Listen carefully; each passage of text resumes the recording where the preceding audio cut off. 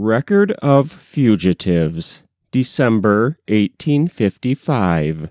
From the papers of Sydney Howard Gay. Read by Frank Blissett.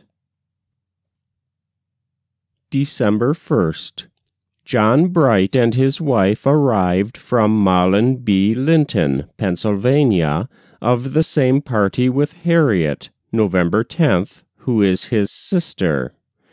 After the dispersion at Wilmington, John and his wife found their way to Linton's and remained there till yesterday.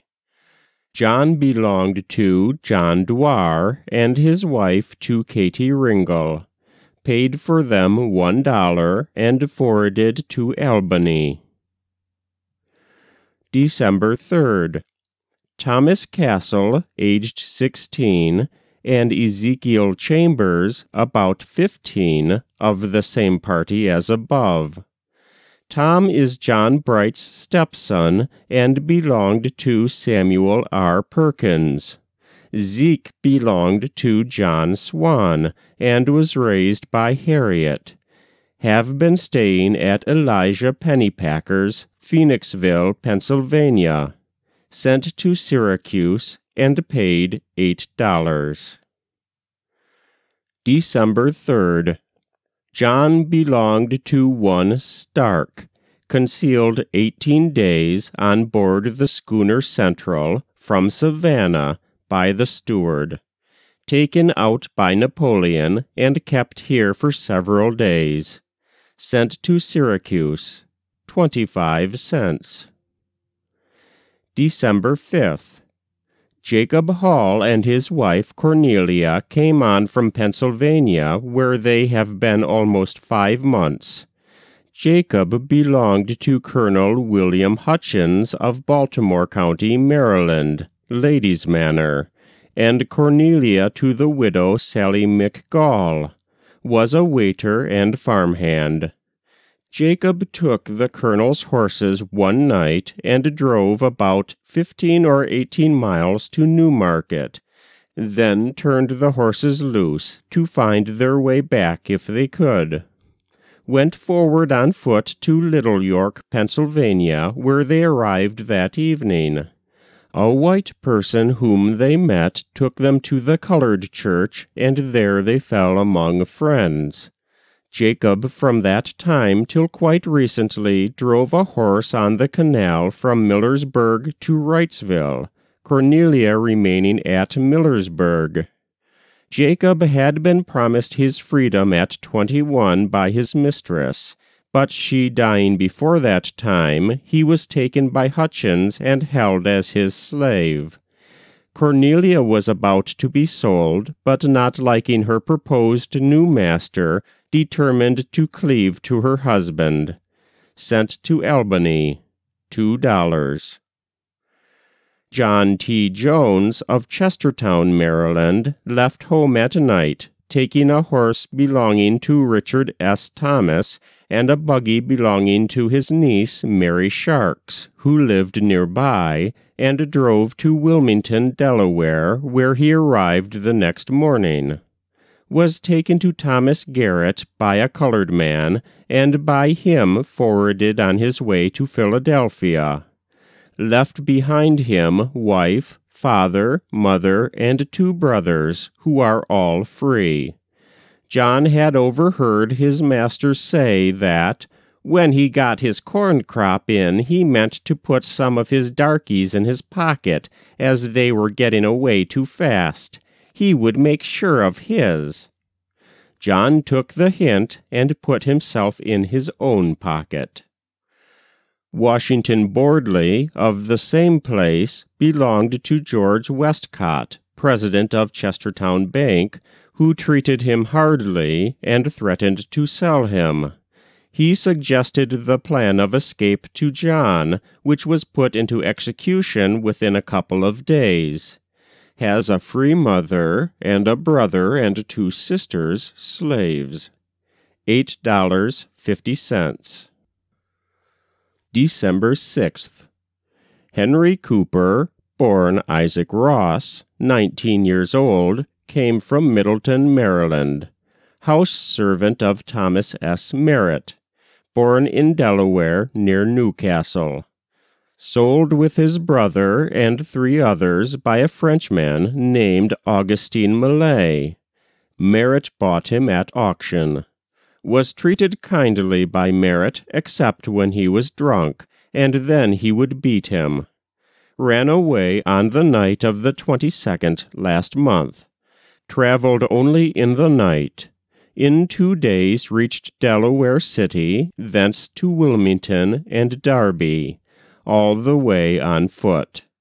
At Darby stopped one night with a Mrs. Jackson, a Quaker, sent on to Philadelphia and slept all the next night in a milk wagon, but was very cold.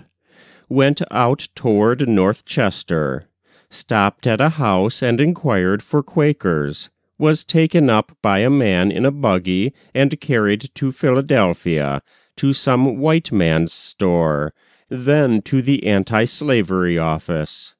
Is cousin to one of the Chestertown party lately forwarded. Sent to Syracuse. Dinner. $4.25. December 19th. Mary Curtis, 19 years of age, slave of Ben Gwyner of Chester County, Maryland, housemaid has been living for four years with a Mrs. Grant in Baltimore, where she was sent because her health failed from doing farm work. Gwyner died recently, and hearing that the slaves were to be sold, a free colored woman induced her to leave and gave her money to pay her way to Philadelphia. Left father and mother behind her. Three dollars seventy five cents. December 21st. James Griffin of Baltimore County, Howard Township, 22 years old. Joshua Fitch, master. He worked for Fitch's brother part of the time in Baltimore. He had a wife and five children, but the mother and two youngest were sold two years ago to South Carolina. His master told him some time ago that, as he was insolvent, he should have to sell him and the children, and gave him permission to find new owners. He found buyers for the little ones, but concluded to run away with himself. Sent Jones, Bordley, and Griffin to Syracuse. $14.65. William Brown of Prince George's County, Queen Anne's Township, 25 years of age, William Elliott Master. Formerly belonged to an uncle of his late owner, one William Wells, who emancipated his slaves by will.